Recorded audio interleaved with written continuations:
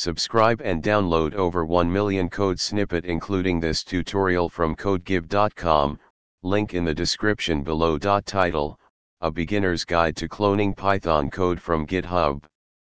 Introduction GitHub is a popular platform for hosting and sharing code repositories. If you've come across a Python project on GitHub that you want to use or contribute to, the first step is often to clone the repository to your local machine. This tutorial will guide you through the process of cloning a Python repository from GitHub using Git, the version control system. Prerequisites Before you begin, ensure that you have the following installed on your machine. Step 1 Find the repository on GitHub. Go to the GitHub website, https colon slash slash github.com, and search for the Python project you want to clone. Once you find the repository, navigate to its main page. Step 2, get the repository URL. Click on the code button on the repository page. This will reveal the repository's URL.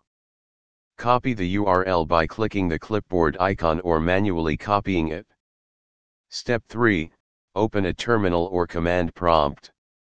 Open a terminal or command prompt on your local machine.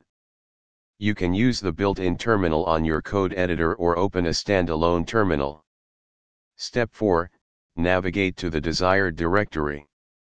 Use the cd command to navigate to the directory where you want to store the cloned repository. For example, Step 5 Clone the repository.